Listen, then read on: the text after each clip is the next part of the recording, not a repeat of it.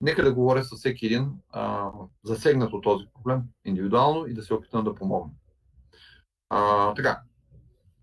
Днешната а, лекция а, ще продължим от там, където завършихме миналата седмица. Спомняте си, а, само че аз сега ще тръгна да отварям SolidWorks и той се позабавя.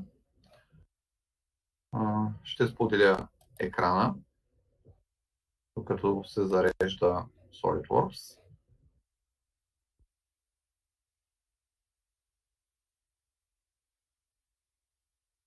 Така, имахме една каничка, направихме и още една. Тази е дясната каничка. Ще отворя и другата, която е каничка лява.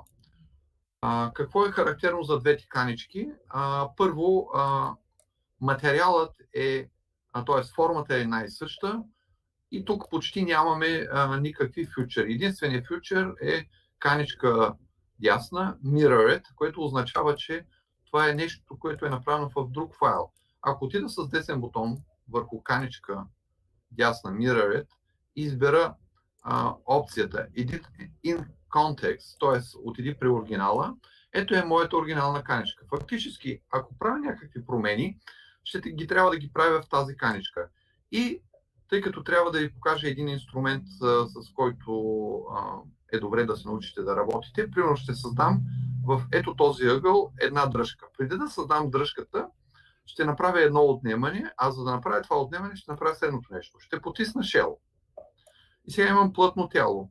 Ще трябва да направя една дръж, а, място за дръжката, което ще бъде последния начин. Заставам от, долната страна на каничката, а, избирам тази равнина и стартирам нова скица.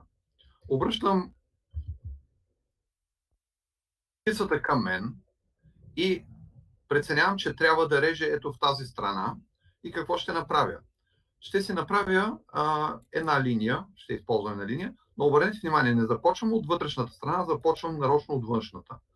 А, причината да го правя това нещо е много семпла и ще обясня след няколко секунди. Хващам си горния ръб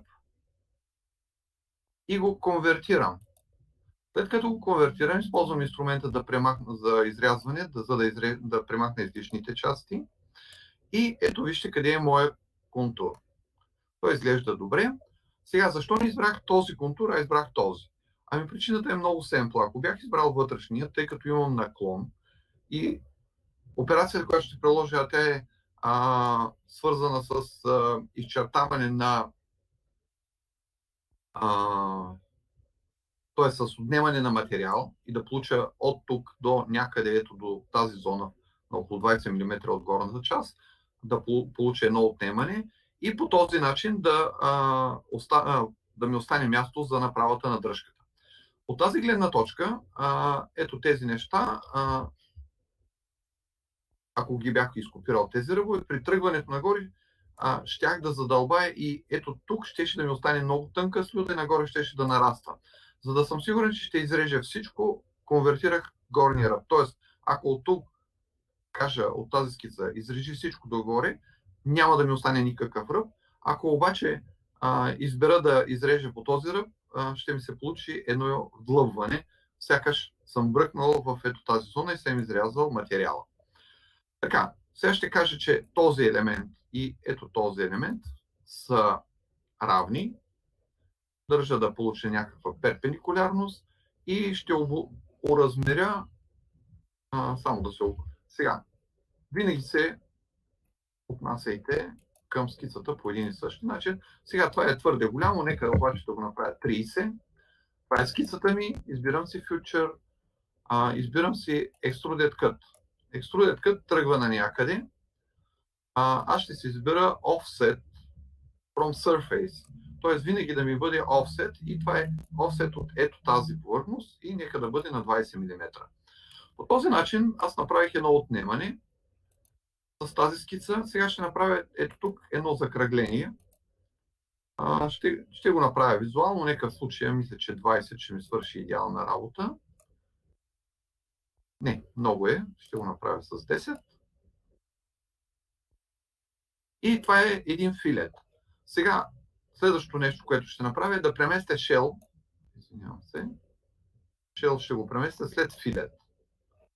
Причината е, че искам а, черупката ми да се получи и да включи в себе си ето тази зона. Какво е интересното? Ако отида ето тук и отида в канечка лява, тук нищо не съм правил, обаче нещата са се получили абсолютно по същия начин, каквито са се получили в а, другата дясната каничка. Връщам се в дясната каничка и ще трябва да направя а, дръжката, като дръжката ми, грубо казано, ще бъде, ще тръгва ето тук, ще слиза додолу и ще отива към каничката. За да се получи това нещо, аз ще изчертая няколко помощни елемента. Първият помощен елемент, който ще използвам, това е, ще начертая нарочно една линия точно в средата, върху тази повърхност. И ето, обръщаме към себе си. Обърнете внимание, че тук имам една конусообразност, която се е получила. Ще си чертая една линия. Ще използвам а, характерни точки. А, избирам тази линия да изчертая, за да мога да направя а, помощно на линия, тъй като ако директно отида към референс геометрия и избира, че искам да правя равнина или плейн, то този плейн, примерно, ще минава през ето тази равнина и ще посоча и ето тази, само че извинявам се, нещо не ми се получи. А, нека да посоча първо равнината. А, ще посоча, че е перпендикулярна, само че ще кажа, че минава през ето тази равнина. Не ми се получи сега. А, предполагам, че заради прозрачността ще премахна транспаренцията. Ще направя по-плътна, нека да бъде бяла. А, това се отнася и за всички тези неща. Ще трябва отново да избера да премахна транспаренцията. А, каничката ми стана бяла. Посочвам си Избирам си ето тази линия. А, избирам си Insert Reference геометрия. А, не ме пуска. Защо не ме пуска?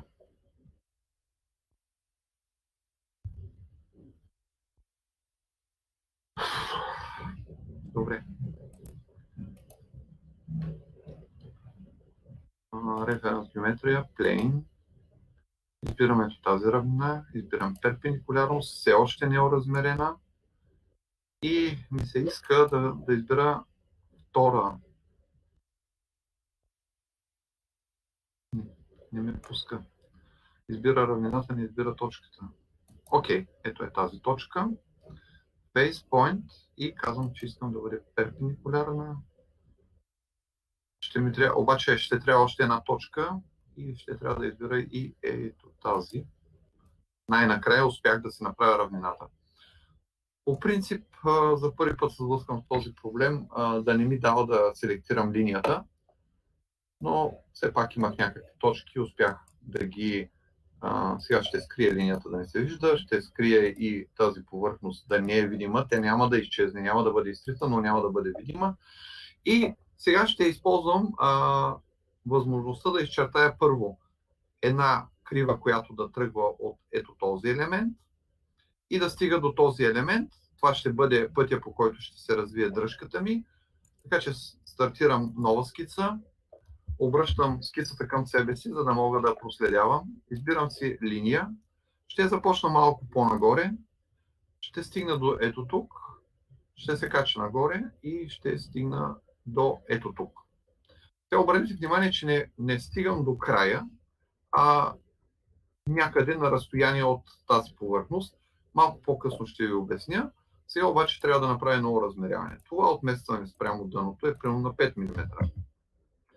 А, това отместване спрямо, да кажем, нулевата точка, нека да бъде случая 140, мисля, че е. Нека да бъде 140. А, тази линия не е вертикална, но ще обознача и тази и тази какво е разстоянието. Нека да бъде между тях 80 мм. А, и ще кажа, че тази е вертикална. И ще размеря ето тази линия. А, успях обаче да натисна и съответно преди да направя вертикалност, натиснах и тази. Ще използвам филет, за да закръгля. За операцията, която ще прилагам, филет е много ценен и ще използвам закръглени 15 мм. Съвсем малко ще остане в края. И имам ето тази скица. Вижте къде се намира тя. След като изляза от скицата, виждате къде е. Залепена е върху тази стена, тук стига обаче до някъде. Следващото нещо, което трябва да направя, е върху ето тази стена да изчертая а, формата на дръжката. А, по принцип а, ще стартирам скица, ще обърна равнината срещу себе си, виждам нулевата точ, долната точка на тази равнина, ще използвам а, примерно един правоъгълник, като нулевата точка ще е хвана, централната ще е хвана за тази равнина. А, другото нещо, което ще направя е да направя а, някакъв орнамент. Този орнамент ще го направя с, а, примерно, с една осева линия. Ето така вертикална. След това ще си избера една линия. Ще сляза ето тук. Ще направя хоризонтален елемент и ето така. След това ще а, избера тези трите линии, държейки контрол и ето тази осева линия. И ще избера мира. А, тази обаче не ми се копира. Ще я избера наново. Мира. А, ще си избера инструмента и ще примахна ето този излишния материал. А, ще избера отново осевата линия когато използвате такива програмци, понякога а, при а, махане на част от тях, какъвто е в случая ми, става проблем и а, тези а, се разместват ето тези диагонали. Поради тази причина избрах да сложа тези осеви линии, за да а, захванат нещата и виждате, че сега а, горе-долу нещата се движат в а, синхрон а, ще обознача това нещо, примерно с 18 мм, ще го замеря, извинявам се. А, следващото е да измеря ето тази височина. Ще кажа, че ще бъде 3 мм. А, ще избера ето този елемент, извинявам се, и този. Ще кажа, че искам да бъдат равни. А, така. Сега селектирах нещо, но така, ще кажа, че този и този са равни. И а, така, предполагам, да, не съм успял да закача точката, ще изнеса тази фигура навън и ще се опитам да я закача. В момента не ме пуска, но да, имам някакъв проблем с хващането на елементи. Сега, ако си спомнете, а, тази линия започна на 5 мм, така че а, няма да се опитвам да хващам точката повече. Ще кажа, че този елемент се намира на 5 мм. Успях да въведа някаква много по-голяма стоеност 5 мм. А, мястото на този елемент а, не е задължително да бъде точно в точката, но е много важно тази линия, която имаме тук, да бъде а, допряна в равнината, от която тръгва този елемент. Фактически сега ще направим sweep. Sweep е опция, при която имаме а, движение на контур по някакъв път. Това е контура, затворения контур. А, какво още можем да направим? А, евентуално мога да направя, а, сега примерно това ще го направя 2 мм, тъй като ми се струва много голям. А, ще избера филет и ще избера примерно 0,5 като опция за закръгление ето тук. 0,5 няма да ми се получи. Ще трябва 0,4, тъй като размерът, който тъй като 0,5 и 0,5 дава точно единица, така че трябва да е 0,49. Окей, имаме ето този контур. А, излизам от скицата. Сега, това не е задължително да излизате от скицата, но аз ви препоръчвам да го правите. А, не заради друго, да, за да може да изберете а, необходимия елемент. Така че отивам и ви показвам така наречения Sweep Boss. А, миналата седмица а, ви показах как работи Lofted Boss, а, именно при изграждане на формата и го използвахме за да изградим а, по, по-малка и по-голяма, по-малка долна и по-голяма горна част, като тази стена и тази стена останаха вертикални, а наклона единствено, който получихме, беше при ето тези две стени, които в момента са към нас. Сега ще използваме SweetBoss. Като а, имаме а, Sketched профил и Circle профил, кръгъл профил. Когато изберете кръгъл профил, а, това е за да не рисувате кръгчета. Когато имате Sketched профил, това е в случаите, каквито са при нас. А, по принцип, а, Sketched профил, който ще използвам или самия скетч, ето тук е профила, ще отида и ще го посоча. Само ще, ето го. А, само, че не фейса, извинявам се. Трябва много внимателно да отида ето тук, където той ми каза, че това е профила и да се опитам да хвана този скетч. Ужасна, ужасен е този новия, новата. Ще започна по обратния начин. Ще посоча, ще се опитам. А, сега вижте колко е интересно. В момента така, посочвам, това е пътя. Тук ще посоча, докато успея да го оцеля. Не фейс. Добре, приближавам още. И много да. Добре, дори има друга, друга възможност. Мога да отворя дървото и да избера а, Sketch 5. Това ще е най-добрия вариант. И обърнете внимание, дръжката ми се построи. Какъв е проблема? Проблемът ми е, че не стигам до каничката. Защо не избрах Sweep да отиде до каничката? Ами причината е много семпла. Ако бях допрял до каничката, дръжката до, до самата каничка, имаше опасност да, да допра, да остана навън какъвто съм в момента, но в момента е поне видим, да допра, да влеза навътре частично, тогава част от дръжката ще да стърчи навън, от тази страна и от тази, а на някакъв етап ще ще се появи и тук дефект. И поради тази причина аз не се приближих. От тази гледна точка, сега ще посоча ето тази повърхност, ще кажа направи скица. Както съм е селектирал, ще я конвертирам. И сега ще избера опцията uh, Extruded Boss, но няма да е blind, а ще избера, uh, мога да използвам uh, Up to Surface, uh, тъй като в случая съм към една повърхност, даже повече, една, 2, 3 и така нататък. Ще избера Up to Body и ще посоча бодито. Ето го бодито и вижте как а, този материал се доближи плътно до повърхността и по този начин вече аз имам а, този материал е плътен. И това е моята каничка.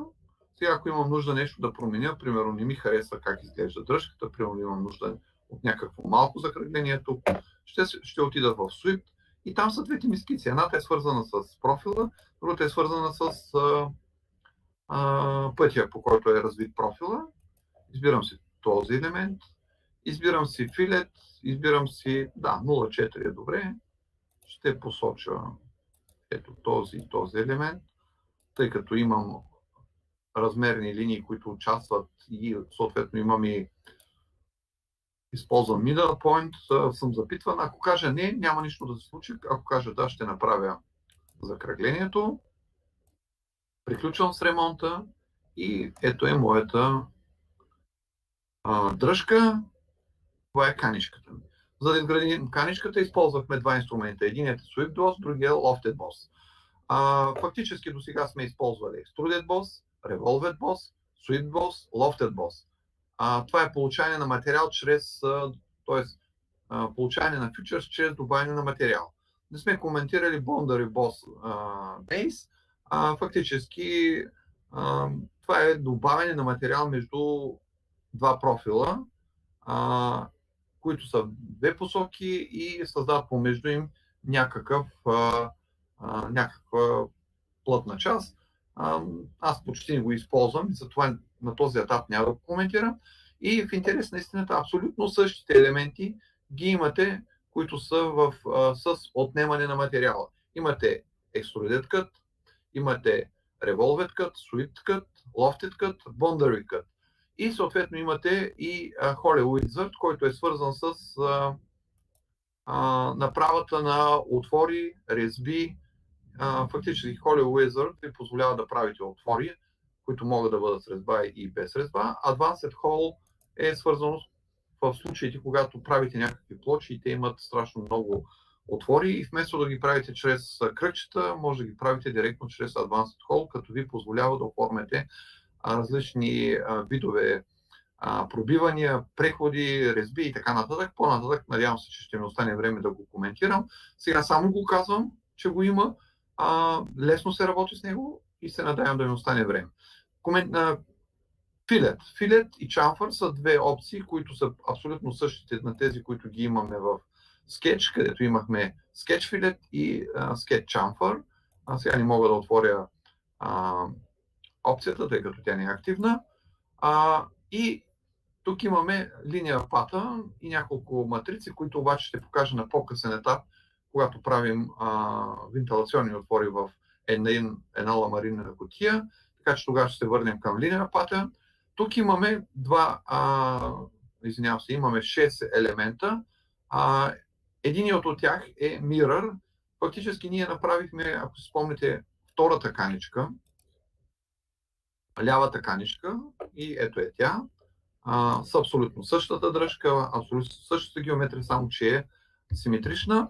А, записвам каничката, а, тъй като повече няма да работя по нея, а, поне на този етап, а, ще, ще я затворя тази. Сега тук се сещам, че имаше един борт отдолу и се сещам, че тук имаше едно пластмасово елементче, но то не е толкова важно, получава се чрез екструд. А, имаме ръб. А, ръб, е, това са укрепващи, а, ръбове, това са такива триъгълни елементи, които играят ролята на ребро и за укрепване. А, по принцип, аз обикновено си ги правя а, много рядко ползвам тази опция директно за направата на а, ребро, а, тъй като а, много често детайлите, които правя, са от, а, поради, от друга получени по друг начин, не че е Solid. А, имам Shell, ползвах ми го, има, има Mirror. Mirror е за направата на огледални елементи. Ако спомните, когато правих а, тялото на запоистисквачката, ви а, направих а, от едната страна прорязах материала, премахнах го и направих Mirror, така че това е неговата роля. А Warp е за направата на... Ако използвате някакъв контур, може би сега е момента да направя примерно един рекламен надпис, за да го видите. Единият от начините за направата на такъв фактически Warp може да се приеме като ако направя някаква скица и го приложа ще получа някакво а, съвсем минимално потъване.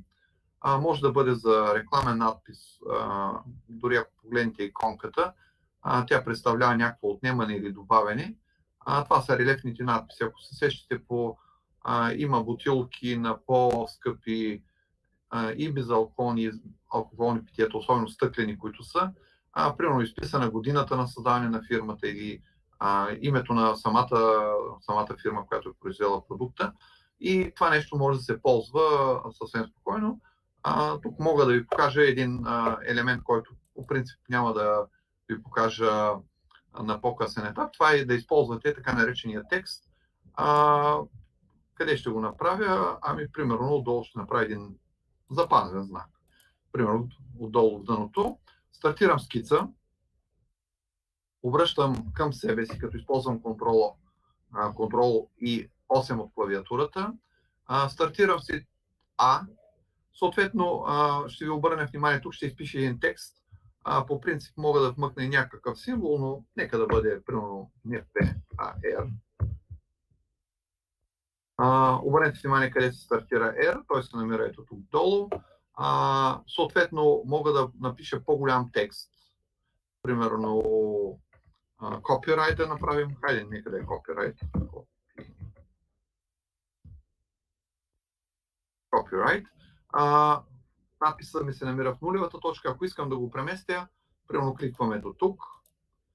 А, съответно, а, само трябва да знаете, че много трудно се контролира, така че а, трябва да направите няколко опита.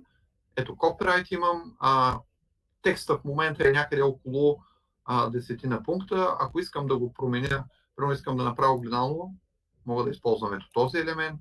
Съответно, ако имам някаква линия, която съм изчертала обикновено, обаче ви препоръчвам да бъде прекъсната линия, мога да го сложа спрямо линията, съответно да направя ляво или дясно подравняване. А, съответно, а, когато имам а, ето тези неща, мога да задам а, някакво, някакъв размер на буквите и съответно разстояние между буквите, или мога да а, премахна Use Document Font и да използвам някакъв друг. Тогава ще се отворят всички шрифтове, които имам. Съответно, примерно мога да използвам получерен. Размерът е 3,5 мм, units, милиметри. А, ще напиша примерно двойно, почти двойно, 6 мм. И съответно ще, ще сложа визуално академия елемента. А, ще кажа ОК и ще се опитам да приложа а, а не можах да го приложа. Добре. Я да видим Word как ще го приложим. Sketch 8 е активен. А, потъването, повърхността, хайде да избера тази повърхност. И съответно имаме различни методи. Сега ще ги пробваме. Примерно, ето този ще го изработим, без да правя абсолютно нищо. И обърнете внимание, имам някакво изпъкване. Сега, изпъкването колко е? Е 1 мм. Ако направя 0,5, ще бъде по-малко. Нека да избера този. При този метод трябва да имам вдлъбване с 0,5. Ето това вдлъбване. Обикновено аз го правя с Extrude Cut. Това е а, Scribe. Предполагам, че ще направи само по контура прорязване. Да. Сякаш е гравирано с много тънък фон и последно ще се избере. Понякога а, посоката на отнемане може да се наложи да е друга. Имате ревърсив. А, може да го насочите в някаква посока. Сега е този. Ще се опитаме този да приложа. А, някакво раздръпване. И аз не знам какво ще се получи. А в крайен резултат няма нищо различно от това, което направих. Така че а, използването на WARP има затворя и тази каничка и ще, ще ви покажа как се прави, а, как се използват няколко други функции. Първо ще начертая един правоъгълник, даже няма да си играя да, да го подравнявам. Ще направя екструд. Спомняте си, че при екструд имахме ето този ъгъл. Сега 60 мм. Да, окей. А, имах възможност да смачквам чрез бос екструд, но това е в случаите, в които смачкването ми е а, във всички, а, всички равнини се смачкват навътре или навън.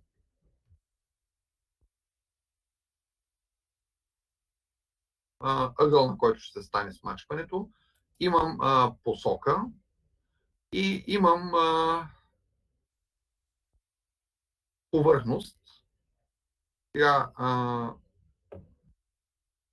ще си избера. А, мисля, че това е, равни, а, това е равнината, която няма да се промени.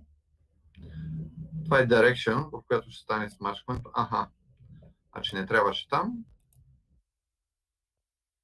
Direction of pull. Добре? Това е Face to Draft. Ето избирам си този и този. Сега, самото смачкване от 1, 1 градус е много малко. Аз ще избера да кажем 30 градуса. А, мога да използвам Auto Paint, за да видя какво ще се получи.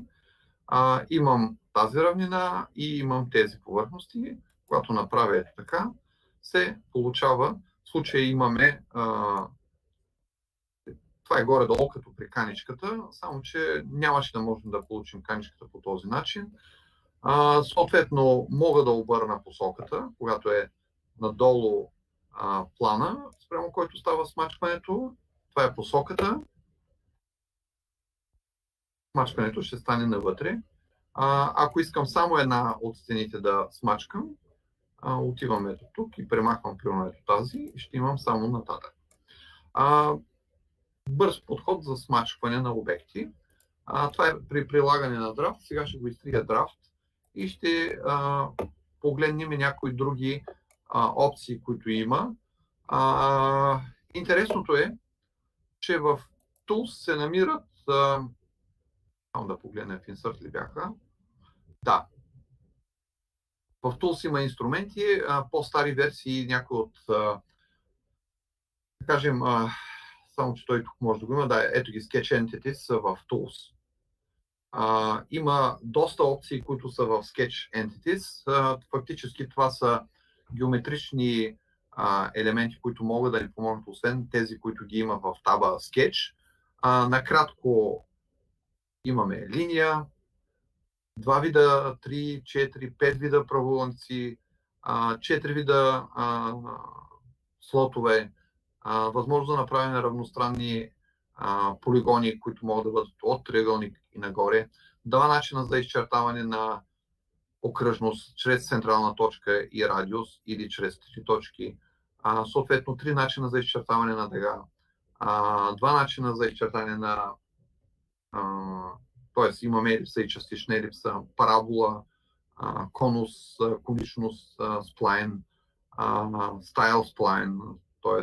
чрез точки, от които става промяната, а, изчертане на сплайн върху повърхност, а, чрез а, въвеждане на а, изчисления или получена чрез изчисления крива поч, точка, помощна линия, средна точка, текст, плейн и това имаме в Sketch Entities. Sketch Tools имаме инструменти, с които можем да работим. Част от тях се намират в а, меню а, таба Sketch, другите са Fillet, Chamfer имаме, Offset, Offset from on Surface, Converted Entities, Intersection, а, сегменти, отрязване, удължаване, а, редактиране на, на елементи от сплайна, Jogline, това е чрез а, такива падови покачвания, преместване от промяна от конструктивна в а, помощна геометрия, създаване на някакъв път, а, mirror,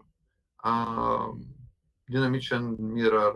А, имате възможност да скалирате, които като скалирането може да бъде по една или по две повърхности. Местене, ротиране, скалиране, копиране, а, замяна, а, линейни матрици и така нататък. Всичко това нещо го имате в ето тези неща.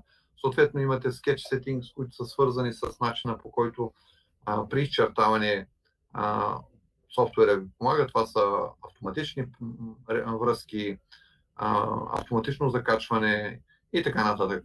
Хубаво е да ги оставите.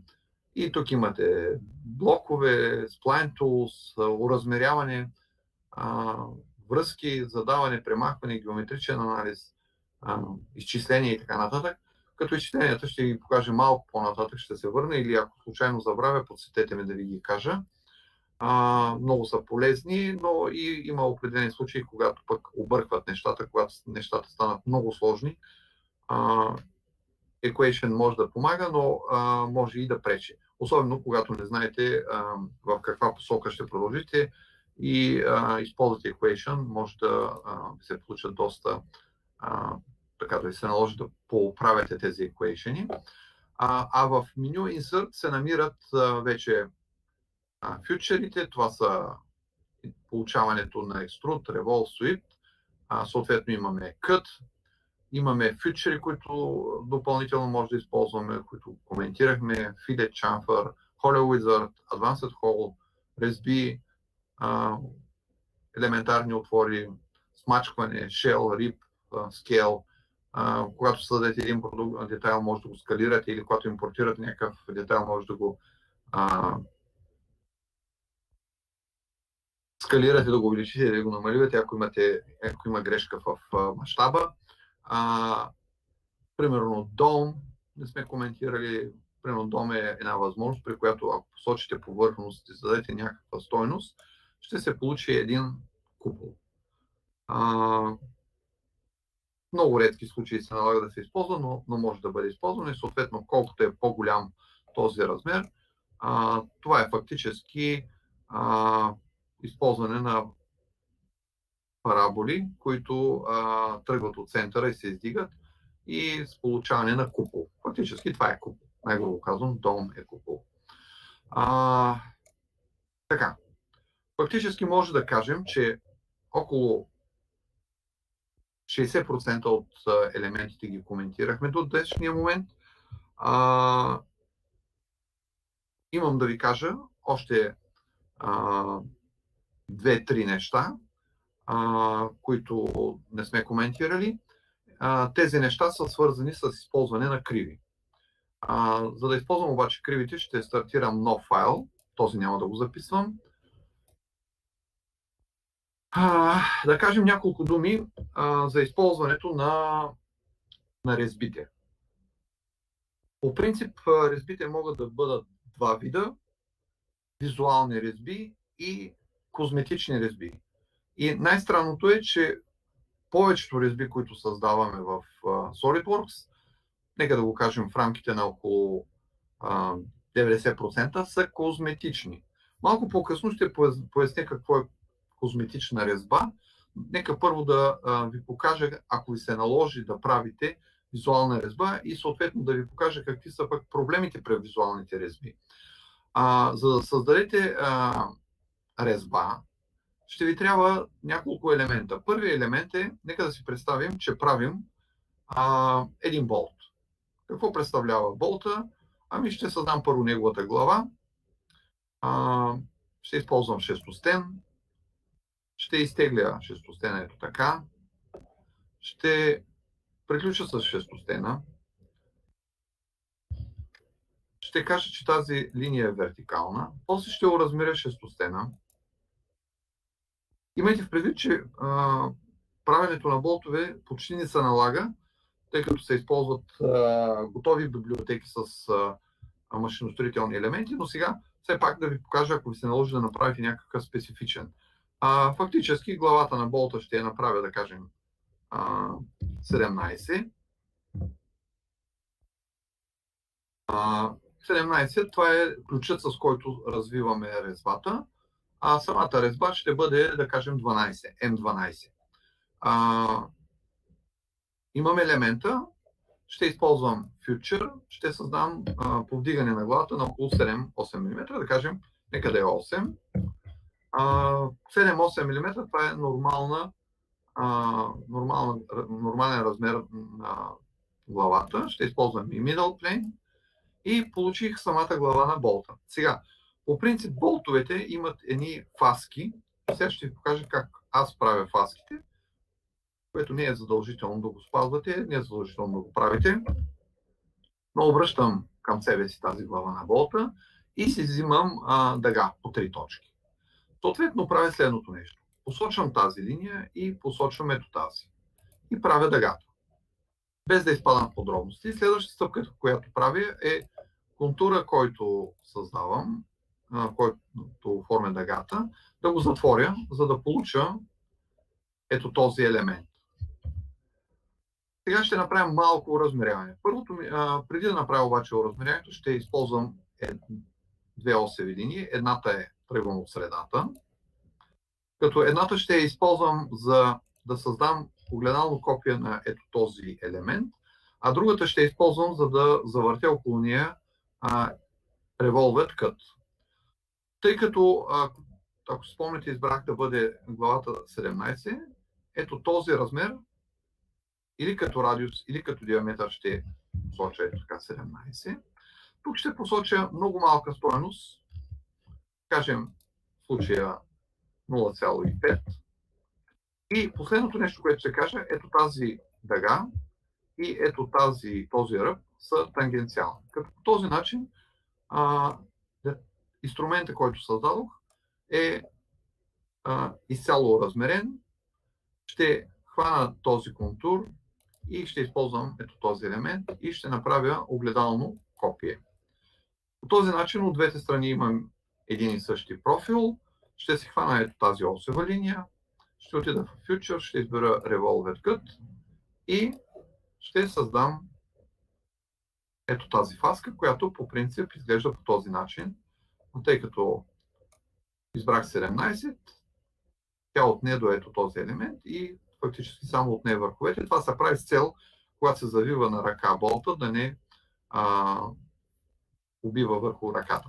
Следващата ми стъпка е да направя тялото, стартирам нова скица и а, фактически ще направя а, външния цилиндър на резбата, а, като обаче ще трябва да го размеря този цилиндър. Примерно нека да бъде 12. А, ще направя фьючер, който ще бъде височината на болта, нека да бъде 50. Сега, а, самия болт, ако правя болт, ще трябва да ще направя две действия. Едното да приложа козметична резба и другия случай е да направя а, фаска. Сега в случай ще направя първо, а, ще направя първо фаската. А, като при нея ще задам стойност 0,5. Е малка и вече болта изглежда почти а, има търговски вид. Ако избере и материала му, казва, че е плен карбон стил, той ще може да бъде използван, но ако реша да направя чертеж, нямам резба. По-интересното е, че на по-късен етап ще ви кажа, че резбата, която мога да създам, не е необходимо да бъде визуална, даже задължително е да не е визуална, но в много редки случаи ще ви се наложи да използвате визуална резба, така че първо ще ви покажа как се прави визуална резба, а след това ще ви покажа как се прави козметична. А, за да направя визуалната резба, ще избера ето тази равнина и ще стартирам нова скица. Ще хвана ето този ръб и ще го конвертирам. Фактически този ръб в момента ще го използвам да създам така наречените, ще създам кривата Helix and Spiral, т.е. концентрична линия, която е концентрична и върви нагоре. Това е ето тази Helix and Spiral. Ще, той ми каза, изберете с плейн или някакъв скетч. Ако избера плейн, ще трябва да посоча някакъв фейс, да направя кръгче и след като приключи с кръгчето ще стартира. Но аз имах удоволствието, как се казва, да стартирам а, предварително да се направя скицата. И сега ще създам спирала. Тази спирала може да бъде създадена по няколко начина. Единият начин е чрез постоянна стъпка, чрез променлива стъпка. Съответно, мога да дадам а, противоположна посока. А, мога да дадам Start Angel. Start Angel, а, ако застана срещу ето тази равнина долу, а, имам 45 градуса, а, 0 градуса или някакъв друг, фактически откъде започва началото на а, моята а, спирала. А, така, стъпката ми, а, мисля, че М12 е 12, ще направим М12 по 1,5.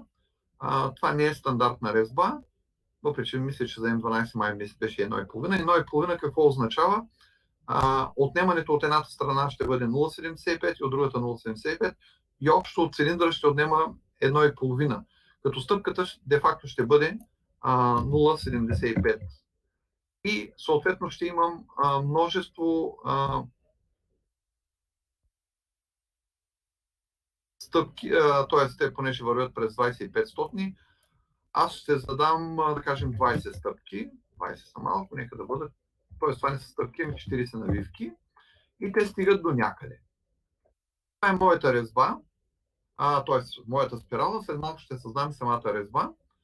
А, както се досещате, сега аз няма да използвам 45 градуса, ще отида в 0, тъй, тъй като а, или 0, или 90, или 180 е по-добрият вариант, тъй като ако е 45, а, което ще играе ролята на инструмент, за да отреже в тази резба, а, ще ме, а, ще ме, а, ще ми създаде проблеми и няма да сработи. А, това е когато създавам цилиндрична крива, но ако искам да я смачкам, мога да задам някакъв ъгъл, примерно мога да направя конусна, примерно при 10 градуса навънка или съответно навътре. Случай на мен не ми трябва да имам такова смачкване и ще остана с тази спирала. Фактически какво се случи?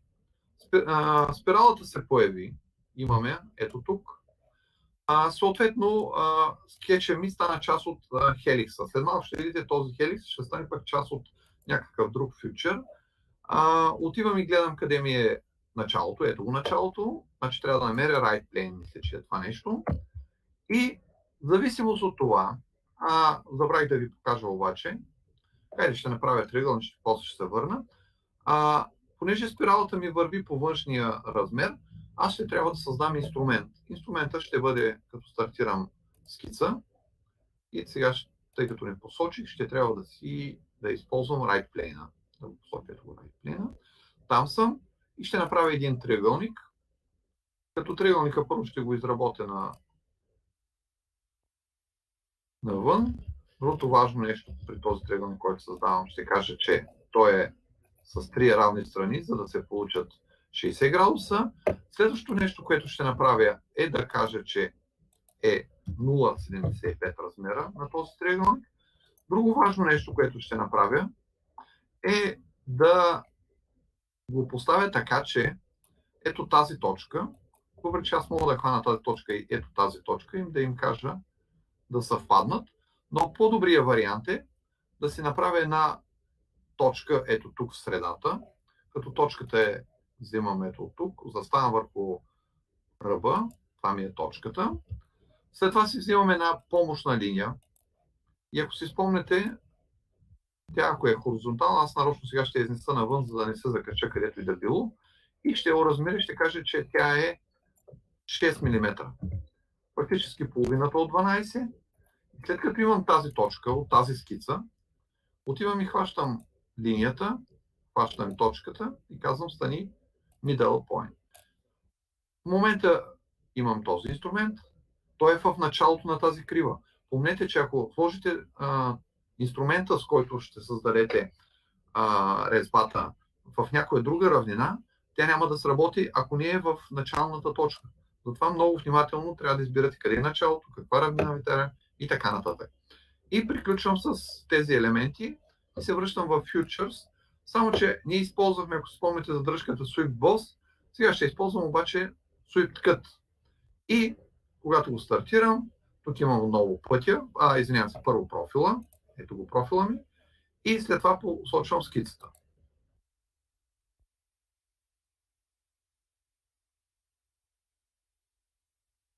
Сега, запомнете, а, направата на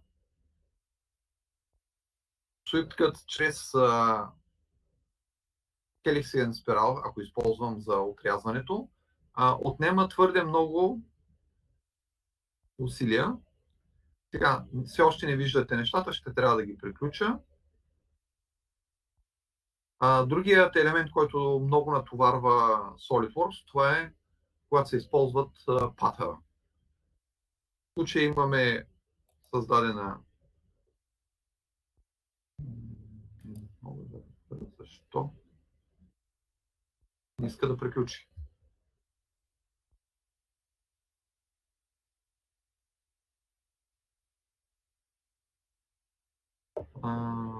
failure to complete. А, ще ви кажа защо е. Нещата са много семпли и не съобразих в самото начало. А, спомните ли си а, каква беше стъпката? Стъпката на тази спирала беше 0,75. Ето е стъпката, 0,75. А размера, който зададох на триъгълника, беше също 0,75 и когато започне това завъртане, не остава никакъв материал ето тук. Така че, първо да ви покажа нещо. Тук имаме по часовниковата стрелка, а тук имаме обратно на часовниковата стрелка. Ако тази крива ми трябва надолу, а, то, а, избираме това нещо, съответно внимавам с този 0,75 и ще върна ето тук и ще кажа, че това не е 0,75, а 0,74, тъй като се получава една нулева повърхност там, където се сблъскват двата ръба. И това, това е недопустимо. В случая ще използвам 0,74 и ще видите, че в момента ще сработи. Първо е този ръб, после ето този и фактически в момента стана изрязването. Ето го нашия Само, че е много интересно защо тази спирала не влезе в по-старите версии, ако работите с тях, ще видите, че спиралата става част от суипта. Явно в новите версии решили да бъде навънка. Но ето го моя болт. А, от гледна точка обаче а, на работата в SolidWorks, като а, детайл, който а, трябва да получите, а, ще трябва да а, разберете, че това не е добрия вариант. Това е само когато правите визуални неща. Примерно, ако правите болтове, но обърнете внимание, ето тук виждате как а, много грозно ви завършва този елемент. А, може би ще е добре да направите някакво закръгление. Сега, в случая, аз ще импровизирам, но а, може да ми се наложи да направя допълнителна крива, която да изкарам извън ето тази форма, тъй като това няма как да се получи в действителност. Но, в крайна сметка, и самото навлизане, вижте какво е а, грубо, значи трябва да, да отместя триъгълника си още навън. А, това може би е добре да го направя последния начин, да се върна в скицата. И самото изрязване да не го направя през ето тази точка, която сега ще изтрия тази relation, този relation. И съответно, а, сега понеже имам едно хващане, а, пуснаме, а, ще направя ето така. Ще хвана ето този връх и ще го сложа тук.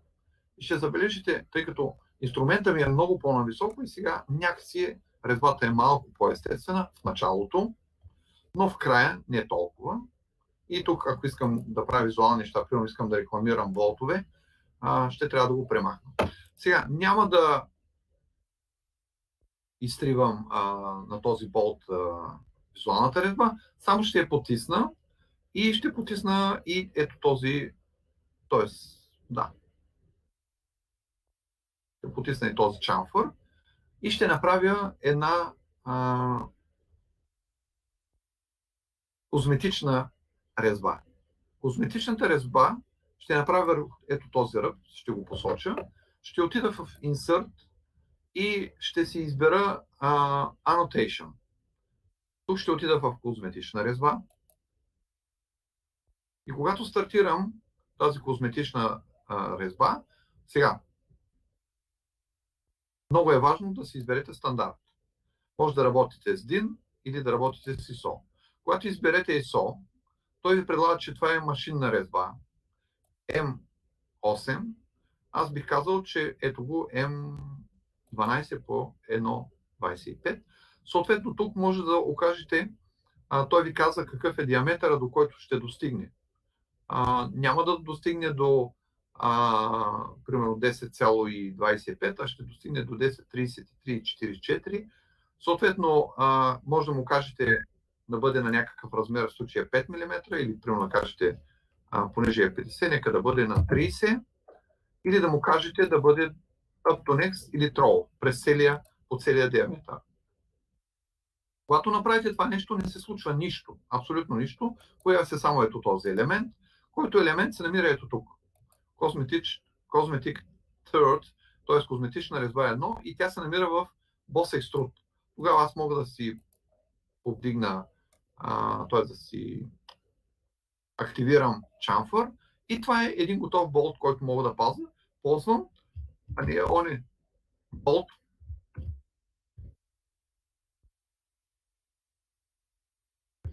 М12, 50, т.е. той е М12, Хикс, 50, Хикс, 30 като М12, тъй като 1,5 не е стандартната резба, е задължително да се изпише по 1,5. Фактически означава М12 е резбата, 1,5 е стъпката, 50 е дължината на, на болта, целият болт, 30 е дължината на резбата. Записвам го, за да го имам този болт и пак ви припомням, че може да бъде и да имам и визуален такъв. А, за сега ще го оставя с визуалната резба.